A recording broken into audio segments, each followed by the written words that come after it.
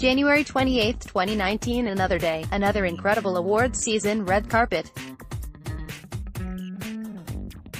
This time, it's the 25th annual SAG Awards held at the Shrine Auditorium in Los Angeles, California on Sunday, January 27, Monday, January 28 here in Australia. The SAG Awards celebrate the very best over the past year in film and television and are a real favorite of Hollywood actors and actresses because these awards are voted on by their acting peers. This year the awards are being hosted by Will.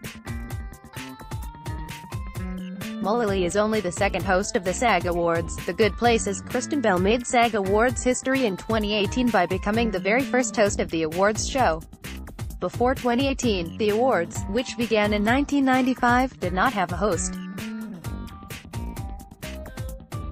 As for the red carpet, this year's SAG Awards red carpet had a twist. Instead of traditional red, it was silver in celebration of the fact that it's the 25th annual SAG Awards, silver being the traditional anniversary token to commemorate a 25th anniversary.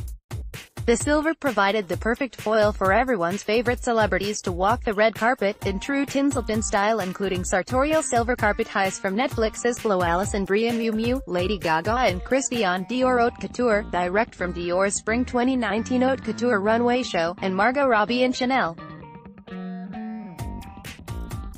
Cast members from A Star is Born, Black Panther, Crazy Rich Asians, The Handmaid's Tale, Bohemian Rhapsody, This Is Us and The Marvelous Mrs.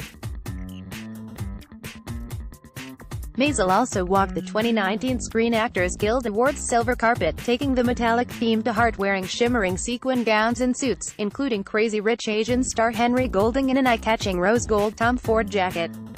The SAG Awards are one of the more relaxed, real, industry awards and the celebrity red carpet reflected this with an anything-goes attitude that saw plunging necklines, feathered detailing, crystals, jewels and oversized bows on display.